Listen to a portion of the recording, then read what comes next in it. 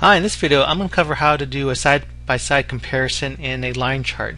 So let's say we have a regular line chart here. Uh, this is the closing price for the Apple stock the first of each month from 2008 to 2010. As we know, Apple has been doing very well uh, these last couple years and we can see the progression of the stock price go from the early one, a uh, little over $100 to close to uh, over $300 by the end of 2010.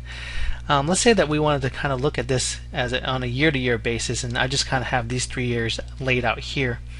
And this is kind of gives us a nice visual view of how the stock price did within the months for each of the years 2008, 2009, and 2010.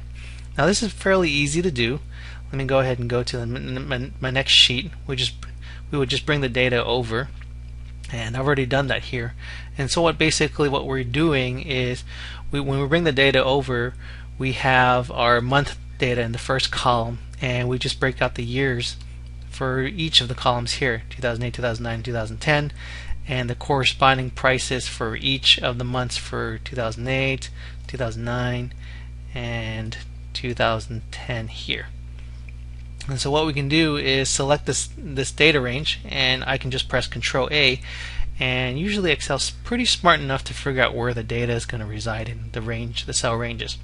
And also like other keyboard shortcuts so press alt F1 and that would insert a default chart in there. And what I need to do is just kind of stretch it out a bit go ahead and change the chart type and we'll have a line chart. Click OK and let's go ahead and also remove the lines. Remove these uh, grid lines here. I like to make it look nice and neat. And there you go. There's our side-by-side -side comparison line chart. Hope this helps. Thanks for watching.